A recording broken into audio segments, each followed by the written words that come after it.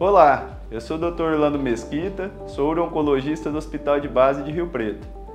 Hoje é celebrado o Dia Mundial do Combate ao Câncer da Próstata e por isso eu venho aqui para falar um pouco sobre este tipo de câncer, que é o segundo tipo mais frequente entre os homens no Brasil. Na fase inicial, o câncer de próstata pode não apresentar sintomas, mas quando apresentam, os mais comuns são dificuldade para urinar, demora para começar e terminar de urinar, sangue na urina, diminuição do jato da urina, necessidade de urinar várias vezes, tanto durante o dia quanto à noite.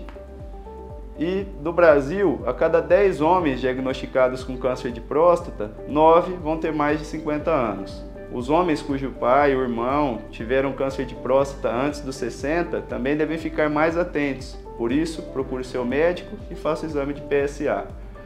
O exame de PSA é um exame de sangue que serve principalmente para diagnosticar o câncer da próstata em homens, antes mesmo que eles tenham sintomas.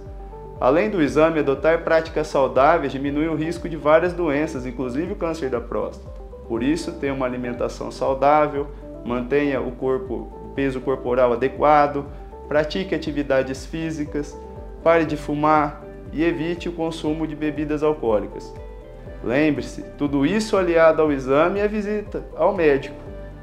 Podem ajudar a identificar o câncer de próstata logo no início, aumentando assim as chances de cura. Faça o exame de PSA. Faça a escolha certa, escolha cuidar da saúde.